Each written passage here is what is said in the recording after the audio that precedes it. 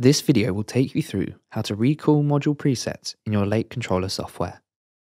Before we get started, make sure that your Lake software and your frame firmware are up to date and your frame is connected. You can refer to our other videos to learn how to do this. First, we need to bring our frame into our workspace, and to do this, we go to Modules. Any frames that are currently connected will display in the tray at the bottom of the screen. To bring our frame into the workspace, we click, drag, and then click again. If you are using a touchscreen, you can simply hold and drag. Next, we need to load our module preset.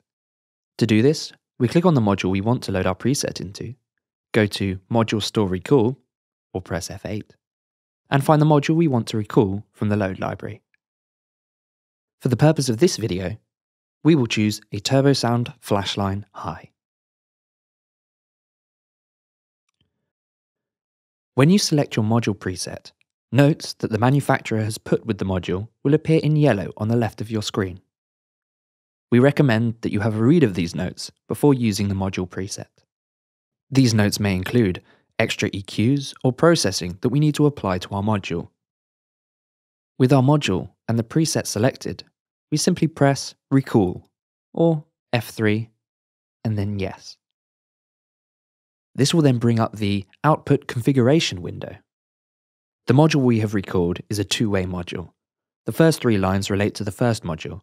The first one isn't used in this preset, so we just have the mids and the highs. We can assign their outputs in this window by selecting which pin we want them to go to.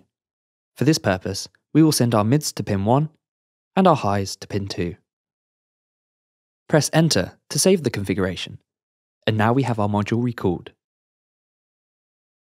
If we want to see the recalled module preset settings, go to Modules and then to IO config and worksheets. Here you can see a block diagram of the module.